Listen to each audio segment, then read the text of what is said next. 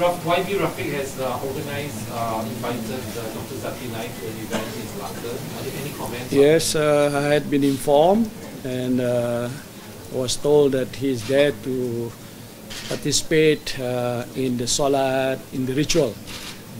He will not be addressing the jamaah there. So the Ketua Police uh, Melaka informed that uh, on that basis he allows him to come in uh, to participate in that program.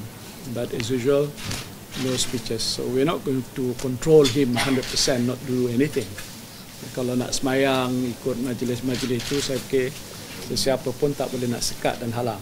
Yang itu maklumat yang saya dapat sebab itu beliau dibenarkan untuk hadir di situ.